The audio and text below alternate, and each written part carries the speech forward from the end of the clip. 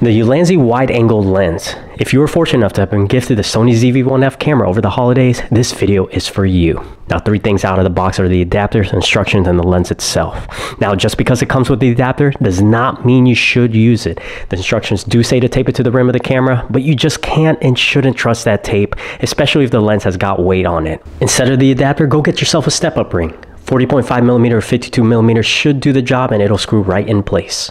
All right, the last step is to screw in the wide angle lens and check out the difference. It'll definitely help when you vlog your heart out. Now, most people get the lens for the wide angle, but it is also a macro lens and you can take some cool close-up pictures. Check out these pictures I took of my cat. All right, all right, enough of the music, but you should definitely get